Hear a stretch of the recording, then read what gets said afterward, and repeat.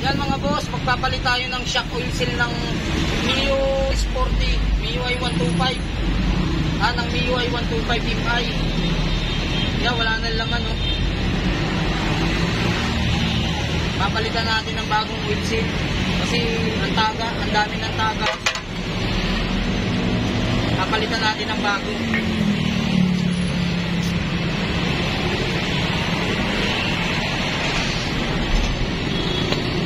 Kasi sobrang dami ng tagas niya mga boss. Yung sa mga hindi marunong magpalit ng oil seal yan, panoodin lang. Natututo kayo. Yan muna kami. Mga boss, magpapalit tayo ng shock oil seal ng MIUI 125.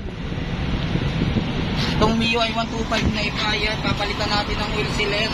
Baklas yung shock. Ito yung shock niya. Papalitan natin ng shock oil seal mga boss. Ayan o. Dahil tumatagas na siya, papalitan natin ng bago.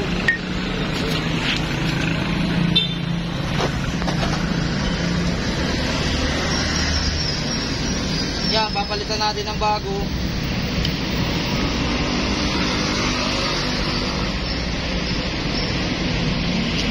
Dun sa mga hindi marunong gumawa ng motor nila, yan, simple-simple lang magpalit ito mga boss. Oh.